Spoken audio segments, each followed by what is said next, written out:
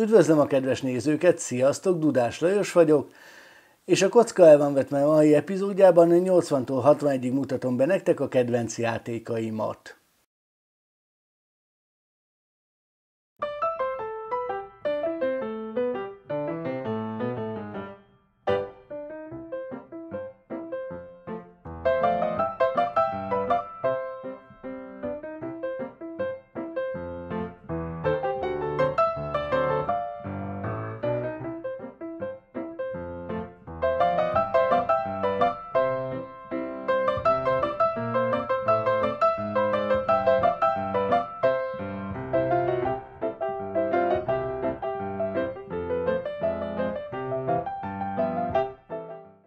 Mai 20 játék között itt fogjuk találni a második és a harmadik legtöbb helyet veszítő játékot, de a harmadik legtöbb helyet javítót is.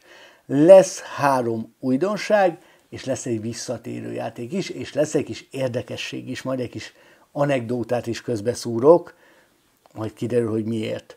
A 80. helyezett játék tavaly 76. volt, négy helyet rontott, előtte 107 előtte pedig 77 volt, tehát ez a legrosszabb helyezése. Én nagyon szeretem ezt a játékot, mert nagyon érdekes módon kezeli a három dimenziónak a behozását a társasjátékokba, és ez nem más, mint a fotoszintézis.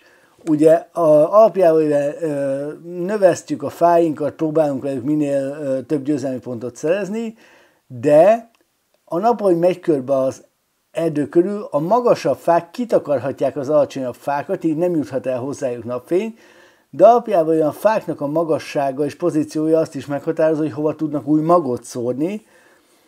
Alapjában én a kiegészítőt nem tartom rossznak, de abszolút nem tartom szükségesnek a játékhoz, viszont ez az alapmechanizmus, hogy számít térben, hogy hova helyezzük el, hol kezdjük el növeszteni a fákat, hogy próbálunk belőle minél több győzelmi pontot szerezni, Nekem ez nagyon tetszik.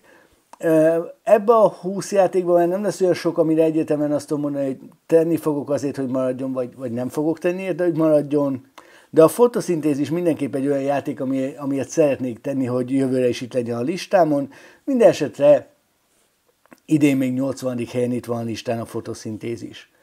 A 79. játék egy újdonság a listán, amit Kánai Zolinak köszönhetően próbálhattunk ki, és ez nem más, mint a Merchants of the Dark Road. A Merchants of the Dark Road egy gyönyörű, szép, nagyon hangulatos, kis érdekes sztorival rendelkező játék. Alapjában kalandózók vagyunk egy világban, ahol elég sok a sötétség és a hideg, és alapjában véve egy, a városban, a király fővárosban egy rondelem megyünk, közbe választunk akciókat, egy dobókockás játék, amiket általában nem szeretek, a dobókockák értéke határozza meg, hogy hogy tudjuk őket felhasználni, vagy hogy, de alapjában a játékban egész jól van mitigálva a kockadobás, elég jól tudjuk befolyásolni, és alapjában mindig két hely közt állunk meg, és választhatunk, hogy a két hely, szomszédos akcióhely közül melyiket hajtjuk végre, kivéve, hogyha meg, van megfelelő speciális kockánk, mert akkor akár mind a kettőt is végrehajthatjuk. Nyersanyagokat termelünk, vásárolunk, dolgokat, utazókat veszünk fel a karavánba, és az a lényeg, hogy van egy olyan akció, hogy elindulunk a karavánunk a, a környező városokba, hogy leadjuk az árút, leszállítsuk az utasokat, és ami nekem nagyon tetszik a játék mechanizmusában, hogy ha ezt egy játékos megcsinálja ezt az akciót, a többi játékos csatlakozhat a karavánhoz. Értelemszerűen valamiféle előnyöket élvezhet, élvezni fog az, aki a karavánt vezeti, de a többieknek nem kell erre akciót költeni, hanem csatlakozhatnak hozzá, és ők is utazhatnak vele, és urambocsáthatnak le árut vagy utasokat. Egy nagyon gyönyörű megjelenéssel rendelkező játék, abszolút nem bonyolult, és 79. helyen itt van újdonságként a listámon a Merchants of the Dark Road. A 78. helyezett játék megint egy újdonság, ezt a játékot nagyon vártam, mert ez a játék engem nagyon emlékeztet egy régi számítógépes játék, amit én nagyon szeretek a Team Hospitalra, a társasjáték pedig nem más, mint a Dice Hospital.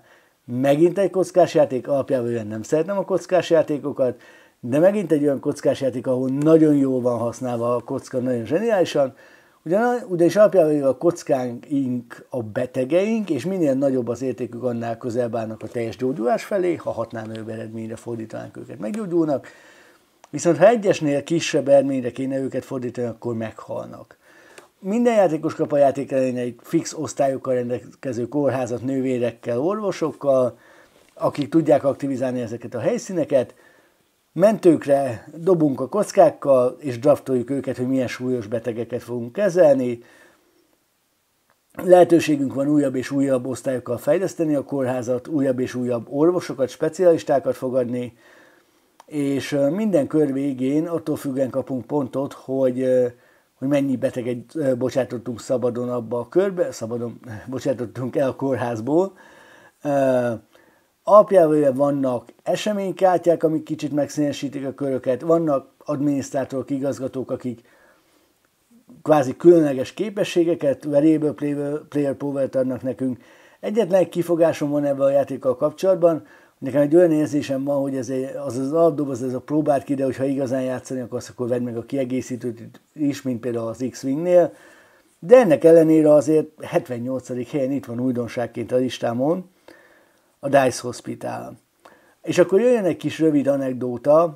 Ugye nagyon nagy élmény nekem a ti százas listátoknak az összeállítása is minden szeptemberben, de azért ez a saját lista se unalmas, ugyanis a, a Board Game Ranking engine-el szoktam összeállítani, ami azt kérdezi, ebben vagy abban játszán szívesebben választok. Kész, ennyi, nem mondja meg, hogy mi, az, mi, mi ennek a következő, jön a következő. És egész pontosan nem tudja az ember, hogy mi lesz a végeredmény, tehát a helyezések is okozhatnak meglepetéseket.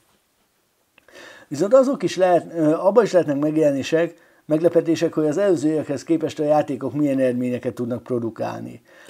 Ugye a múlt héten mondtam nektek, hogy a 99. helyzet 7 csoda, 49 hely rontással a legrosszabb, az első legrosszabb, legtöbbet rontó játék, Viszont ugye ott volt a 89. helyen a Forbidden Stars, ami 44 helyet rontott, és nem mondtam, hogy ez a második vagy harmadik legtöbb helyezést veszítő játék. Tehát 49 helye a 7 csoda első, de ez két játék, ami több mint 44 helyet rontott, és így, így lesznek ők a második és harmadik legtöbb helyet rontó játék. Viszont általában 80 és 61 közt nem nagyon szokott olyan játék lenni, ami az első három legtöbbet javító játék közé tartozik, és most a 77. helyen itt van az a játék, ami a tavalyi helyezéséhez képest idén a harmadik legtöbb helyet javította, és ezt úgy tudta elérni, hogy tavaly kereken századik volt, tehát 23 helyet javított, előtte 80 86 volt, tehát ez a 77. hely még a legjobb helyezés is ennek a játéknak a történetében, és ez nem más, mint a kedvenc játékom a Coffee Roaster. Alapjában én még mindig nagyon szórakoztató, gyors, könnyed, tematikus, élvezetes játéknak találom a, a Coffee Roaster-t. Az, hogy a különböző feladatokhoz különböző zsákokat állítunk össze, ugye különböző tokenek vannak benne, ugye a kiegészítő dolgok, amiket összeszedhetünk, szerintem egy nagyon jó, nagyon kellemes játék, és idén 23 helyet javítva, ugye a harmadik legjobb, legtöbb helyet javító játékként, és a minden idők legjobb helyezését elérve az én listámon, a 77. a Coffee Roaster. A 76. helyezett játék tavaly 81. volt, tehát 5 helyet javított, de volt ez a játék előtte 51., 83. és 104. is, Tavaly játszottunk ebben a játékkal. Nekem ez a játék áll legközelebb ahhoz, hogy azt mondjam, hogy a munkás elhelyezés és a parti játék keverése, és ez nem más, mint a sorban állás. Nagyon szeretem ezt a játékot, nagyon hangulatos, abszolút jól adja. Annyira, tehát ez a, amit bolondít, amit változtat az alap, munkás elhelyezés mechanizmus, hogy sorba kell állni a munkásoknak, abszolút visszaadja azt, amit a játék üzenni akar tematikusan. Alapjában egy élvezetes játék, nagyon jók a kártyák is, amilyen lehet tolkodni a sorba, meg befolyásolni a helyezésünket, és alapjában úgy érzem, hogy ez a játék nekem évről évre jobban öregszik, úgyhogy igaz, hogy ez messze nem a legjobb helyezése, de én bízok benne, és próbálok majd tenni azért, hogy jövőre is itt legyen a listámon az idei 76. helyzet sorban állás. A 75. helyezettem tavaly 56. volt, tehát 19 helyet rontott, de volt már ez a játék 22., 37., 76. és 49. is, tehát nem ez a legrosszabb helyezés, hanem a legrosszabb helyezés 76. volt. Ha érzelmi szempontból közelítjük meg a dolgot, és azt kérdezitek tőlem, hogy melyik kooperatív játék áll a legközelebb a szívemhez az összes kooperatív játék közül, akkor mind, biztos vagyok benne, hogy kapásból azt fogom nektek mondani, hogy a Flashpoint Fire Rescue. Nagyon hasonló a mechanizmus a pandemikhez, a téma nekünk jobban tetszik, nekem az, hogy táblán kell mozogni, jobban tetszik, mint az egész földön, a kiegészítők, amik nagyon apró dolgokat, egy új térképet, vagy egy-egy új specialistát hoznak be nekem, nekem az is tetszik. Úgyhogy, úgyhogy én úgy érzem, hogy, hogy tenni is fogok érte, de ha nem tennék érte, én akkor is úgy érzem, hogy jövőre is itt lesz még a listámon. Az idei 75. helyezettem a Flashpoint Fire Rescue. A 74. helyezett játék tavaly 64. volt, tehát 10 helyet rontott, előtte 45., 68., 82. és 32. is volt. Ez egy családi játék, amiben meglepő, meglepő ö, ö, rendszerséges, sűrűséges, bármikor hátba lehet szúrni a másikat, és ez nem más, mint az Imhotep. Az Imhotep egy nagyon jó, nagyon egyszerű, kedves családi játék, ahol minden körbe dönthetünk úgy, hogy vagy követ rakunk a hajókra, vagy az egyik hajót célba juttatjuk, és akár olyan hajót is célba juttathatunk, amin nekünk nincs is kövünk, hogy kitoljunk a többi játékossal, hogy legalább a számunkra a lehető legkevésbé kellemetlen helyre kerüljenek, vagy számukra ne a legoptimálisabb helyre menjenek a kövek. Nagyon jó, nagyon szép a játék. Érdekesek amúgy a pontozási mechanizmusok, hogy akár 3D-be felülről kell nézni, vagy egymáshoz képest, hogy, hogy egy tömböt alkotnak a, a sírkamrába például a kövek egy nagyon jó, nagyon szép, nagyon egyszerű játék, amiben viszont nagyon-nagyon erős az interakció, és nagyon rá lehet lépni a többi játékos tyúk szemére. Úgyhogy igaz, hogy 10 helyet rontva, de idén is itt van a 74. helyen a listámon az Imhotep. A 73. helyezett játék tavaly 26. volt, tehát 47 helyet rontott, ez a második legtöbb helyet rontó játék a hét csoda ö, mögött. Előtte volt ez a játék 49., 78., 72. és 37. is, tehát nem ez az abszolút legrosszabb helyezése. Tavaly egyértelműen azért tudott előre mozogni, mert sokat játszottunk vele, a kiegészítőkkel is. Idén is, tehát 2022-ben is játszottunk ebben a játékkal, de valahogy abszolút leült. És ennek az az oka, hogy ennél a játéknál is úgy érzem egy kicsit, hogy kijátszottunk, másrészt találkoztunk más laphelyezős játékokkal is, és ez a 73. helyezettem nem más, mint a nagy klasszikus a Carcassonne.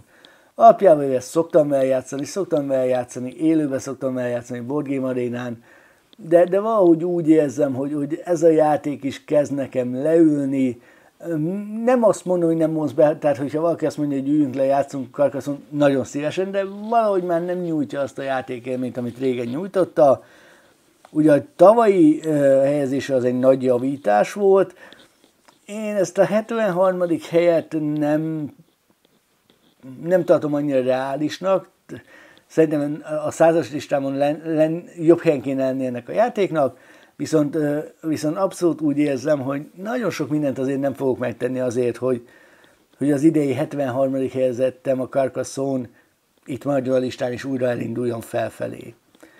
A 72. helyezett játék tavaly 74. volt, tehát kettő helyet javított, előtte pedig 56., 62., 57. és 50. volt, és megint az érzelmi rész, ha megkérdezitek, hogy melyik gyűjtögetős kártyajáték áll legközelebb a szívemhez, egyértelműen azt fogom nektek mondani, hogy a Vampire The Eternal Struggle.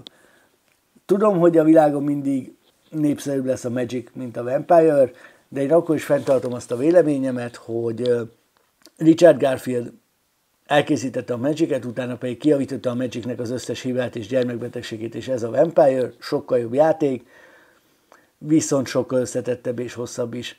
Amíg Magicezni le tudunk ülni 45-60-70 perc alatt lejátszani egy-kettő-három játékot, a, az Eternal Struggle nagyon hosszúra tud nyúlni politizálni kell benne, szavazni kell benne, intrikázni kell benne. Nagyon jó játék, nagyon jó, nagy játékélményt nyújt, de, de megértem, hogy miért a csak a népszerűbb. Mert azért egy fél napra leülni, lejátszani egy kártyajátékot nem mindenkinek, nem mindig olyan vonzó, mint hogy 45 perc alatt lecsapatni mondjuk három vagy két gémet a Magicbe. Minden esetre nekem mindig is ez lesz a kedvencem. Ezt a 72. helyet én reálisnak tartom, majd meglátjuk, hogy mi lesz a jövőre is. Nem mondom, hogy elengedem a kezét, de azt sem mondom, hogy nagyon sok mindent tennék majd azért, hogy, hogy nagyon pozitív vagy negatív irányba változzon jövőre az idei 72. helyzet Vampire Eternal Struggle helyezése. A 71. helyzet játék tavaly 53. volt, tehát 18 helyet rontott, ez nem vészes. Előtte 43., 60., 43. és 39. volt, tehát ez a legrosszabb helyezése, de én ezt a 71. helyezést még mindig nem tartom rossznak az autománia esetében. Nem játszottunk vele tavaly túl sokat, viszont még mindig nagyon szeretem. Az a mechanizmus, hogy mehetünk ugyanoda, ahova más játékosok már mentek, foglalt az akcióhely, csak annyi, hogy egyre több munkás kell odarakni, és ugye a másik játékosnak még vissza is kell adni a munkását, nekem nagyon tetszik, én ezt a mechanizmust ebbe a játékba ismertem meg, de a saját kis táblánk a futószalagokkal, ahol kijönnek az autók és keresztezik is egymást, tehát ha egy lapkát lerakunk, az több kocsinkra is, több típusú kocsinkra is vonatkozhat, körül-körül változik, hogy mire van igény a piacon. Szerintem egy nagyon jó, nagyon egyszerű kis munkás elhelyező játék, és idén 71. helyezett a listámon az Autománia. A 70. helyezett játék tavaly 25. volt, tehát 45 helyet javított, ez a harmadik legtöbb helyezést, vagy rontott, ez a harmadik legtöbb helyet veszítő játék. Tavaly 25. volt, előtte 86., 41. és 17. volt, és tavaly azért tudott 25. lenni, mert decemberben játszottunk vele többször is, és úristen, mennyi, ez a jó, mennyi jó ez a játék. 2022-ben viszont nem játszottunk vele olyan túl sokat. Megint, hogyha megkérdezitek, hogy melyik hét soraklón játék áll legközelebb a szívemhez kapásba, azt mondom, hogy a Fields of Green, Ugyanakkor az a vicc, hogy a, a, ezen a listán a, a többi hét soraklón játék általában mindig jobb helyezést szerez meg, mint a Fields of Green, pedig mechanikusan szerintem jobb, mint mondjuk az Among the Stars. Ugye nem csak egyféle erőforrást kell vezetnünk az áramot, itt kettőt, a vizet és a kaját is el kell jutatni.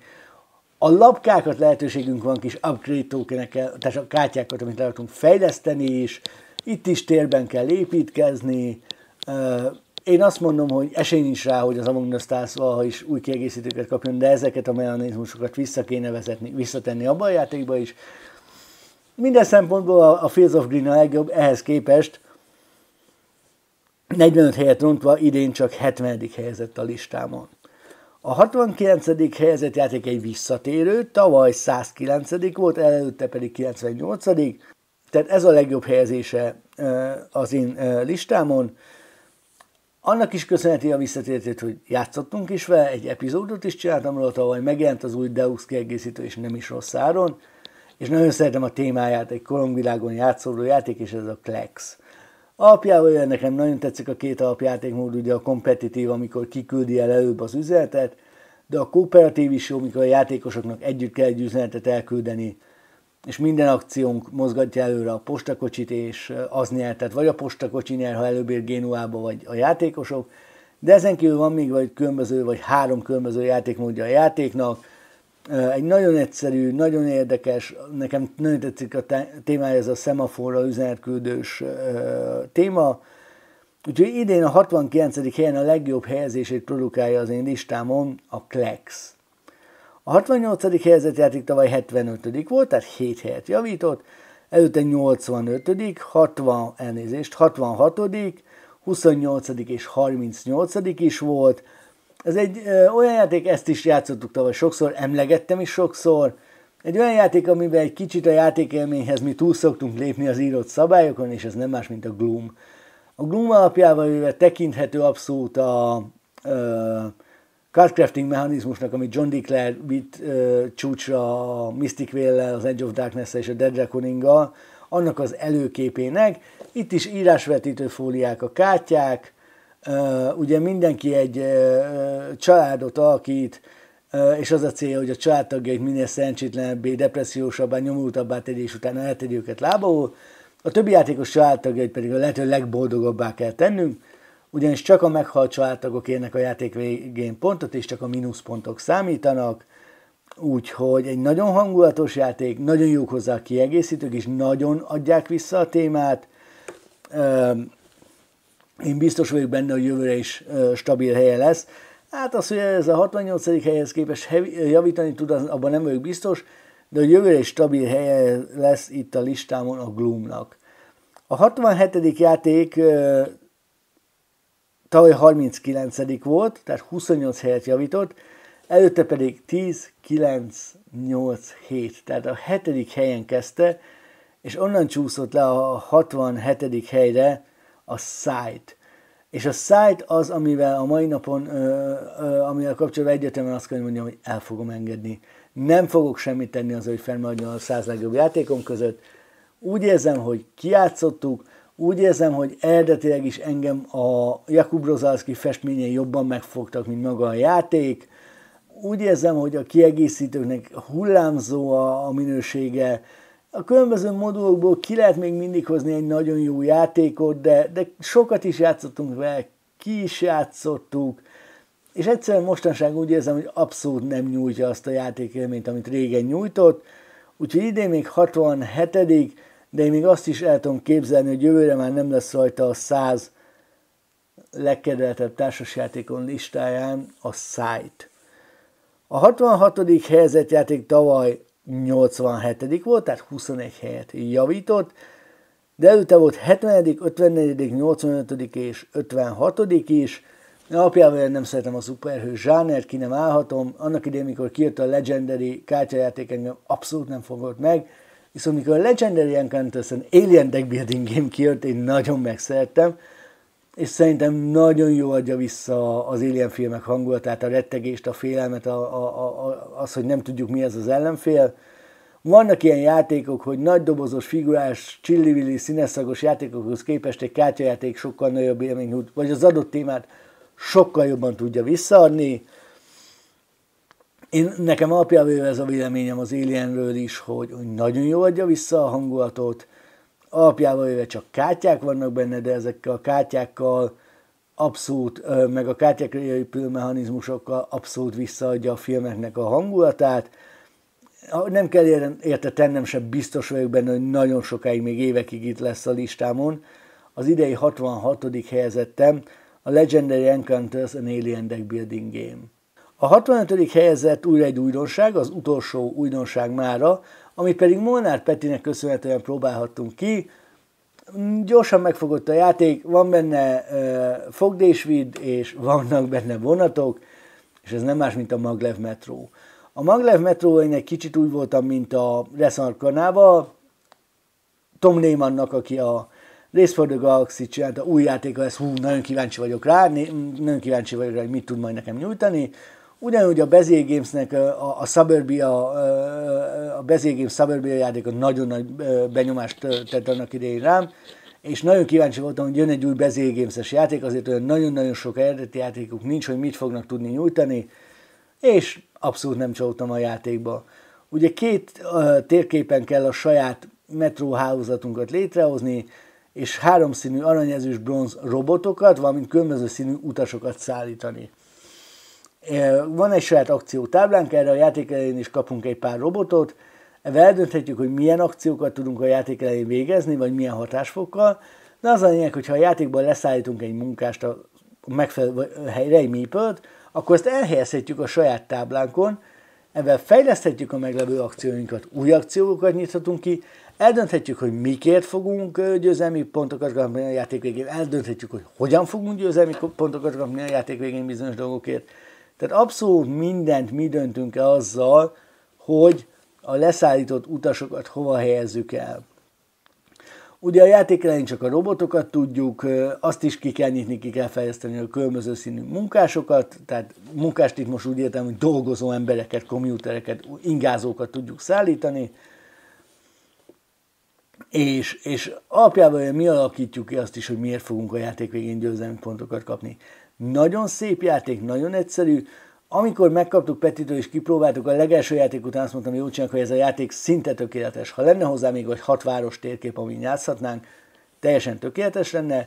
Nem azért, mert az alapjáték unalmas, de egyértelműen ebbe a játékban nyitni kell erre felé, és ha jótól már le is zajlott a, a kampány, ami arról szól, hogy jön hat új térkép. Úgy látszik, hogy ebbe az esetben egyre gondoltunk a, a Bezier Games-el, de azon kívül, azon kívül egy nagyon jó játék, engem megfogott, és 65. helyen itt van újdonságként idén a listámon a Maglev Metro. A 64. helyezett játék tavaly 70. volt, tehát 6 helyet javított, és az a 70. hely volt a legrosszabb helyezését a listámon. Előtte 20. 26. és, bocsánat, 73. is volt, tehát a 73. volt a legrosszabb helyezése. Megint egy mi áll legközelebb a szívemhez. Ha megkérdezitek tőlem, hogy az összes Games Workshopos játék közül melyik áll legközelebb a szívemhez, én egyértelműen Necromundát mondom. Nagyon jó a hangulata, és szerintem a legjobb a játékmechanizmusa. Lehet, hogy lesznek olyanok köztetek, akik nem értetek velem egyet, de apjával a Necromunda a Warhammer 40 ezeres vérfoci. Ugyanúgy csapatokat állítunk össze pénzből, ugyanúgy pénzt kaphatunk, fejlődhetünk, ugyanúgy, hogyha sérül a csapattagunk, akkor kisebb sérülésnél csak lefekszik, nagyra a, arcára fekszik el, vissza kell fordulni, vagy akár ki is üthetik a pályáról. És ugyanúgy, ahogy a vérfoci egy nagyon jó hangulatú, jó mechanizmusú játék, szerintem a Necromunda is az, Alapjában az ilyen skirmish léptékű gévés játékok közül szerintem ennek van a legjobb szabálya. Az új Kill Team szabályokról ne is beszéljünk, de az előző Kill Team szabálya is voltak olyan jók szerintem, mint a Necromundának, és a világ pedig abszolút hozzá, ugyanúgy, mint ahogy a, a vérfocinál, hogy melyik csapat, melyik fajból jön, itt is, hogy melyik banda, melyik házhoz tartozik, vagy a, vagy a plusz bandák, ugye, amik nem is házhoz tartoznak. Egy nagyon hangulatos, nagyon jó játék, és idén 64. helyezett a listámon a Necromunda. A 63. helyezett játék tavaly 79. volt a listámon, 16 helyet javított, előtte 62. és 58. volt. A múlt heti adásban már emlegettem nektek, hogy szerintem a 97. helyezett nyugati királyság várgrófjai csúszik a legkönnyebben a három nyugati királyság játék közül, de szerintem a legkomplexebb és a legjobb az a nyugati királyság lovagjai. Egy kicsit összetettebb, de ugyanakkor ez az összetettség azt jelenti, hogy sokkal több lehetőségünk van szerintem. Ugye eldönthetjük azt belszólásunk van, hogy az adott körben milyen munkásaink lesznek, munkás egy-kettő elhelyezés, hogy, hogy hova rakjuk, mit kapunk érte, szerintem nagyon jó mechanizmus, szerintem egy jó játék. Igaz, hogy, hogy talán a legkomplexebb a három közül, de, de szerintem alapjában a legjobb játékelmény nyújtó, legalábbis szubjektíve nekem mindenképp. Úgyhogy 63. helyezett idén, 16 helyet javítva a tavalyi helyezéséhez képest a nyugati királyság lovagjai. A 62. helyezett játékot is emlegettem már múlt héten, tavaly ez a játék 57. volt, tehát 5 helyet rontott, 5 55., 19., 28. és 21. is volt, tehát ez a 62. helyezés a legrosszabb helyezés a listámon, de egy megkerülhetetlen klasszikus, és ez nem más, mint a Dominion. Mindig elmondom nektek a különböző építős játékokkal kapcsolatban, hogy nagyon jó ötletek, nagyon eredeti, mm, aztán mégiscsak menjünk vissza a Dominionhoz. És ennek az egyik oka az, hogy ha a Dominion, megvan az embernek a Dominion és a kiegészítők nagy része, akkor bárki bármilyen új építős ötlete áll elő, a Dominion és összes kiegészítővel mindegyiket le lehet szimulálni. Tehát hozzanak be bármiféle újdonságot nagyjából a pakli építős játékok, ha megfogjuk a Dominion-t és a kiegészítőit, simán ki tudunk belőle hozni bármit. Ugyanakkor egy pörgős, egyszerű szabályrendszerű játék, és szerintem nagyon sokáig itt lesz még a százas listámon. Az idén legrosszabb, amúgy legrosszabb helyezését produkáló 62. Dominion. A 61. helyezett játék tavaly 72. helyen debütált a listán, tehát 11 helyet javított, és ez legjobb, minden idők legjobb helyezés a listámon ennek a játéknak. Amikor megláttam az első videókat erről a játékról, felkeltette az érdeklődést, nagy nehezen sikerült beszerezni, és abszolút nem okozott csalódást, és ez nem más, mint a Captains of the Gulf. Ugye a témája a játéknak nem egy nagy vasszizdasz, van a mexikói öböl, van három kikötő, kihajózunk, és különböző tengeri élőlényeket fogunk ki, de alapjában ezt a játék úgy csinálja, hogy egy rondellen választunk akciót, tematikusan három akció szárazföldi, három akció vízi, tehát például a hajót megtankolni és a hajak, halakat eladni a szárazföldön lehet, mozogni és hal, halászni pedig a vízen. De alapjában a játék úgy működik, hogy kártyás, és a kártyákat négyféleképpen is fel lehet használni a játékba. Lehet őket használni legénységnek, hajófejlesztésnek, halászati engedélynek és magának a fogásnak a leszimulálása, hogy mennyiből mit tudunk kifogni. És egy nagyon jó játék, nagyon jól kezeli a piaci árakat, nagyon jól kezeli ezt a gazdaság és, és fogdésvid részét a, a halászatnak, nekem, nekem amúgy is a hajózás az egyik kedvenc témám. Nagyon szeretem az olyan játékokat, amiben többféleképpen lehet a kártyákat használni. Úgyhogy szerintem lesz még, lesz még ennél jobb helyezése is az én listámon a jövőben. Az idei 61. helyezett Captains of the Gulf-nak. Nagyon szépen köszönöm a mai figyelmeteket, mindig elnézést a hangért. Dudás Lajos vagyok, ez a kocka el van vetve. Üdvözlöm a kedves nézőket, sziasztok!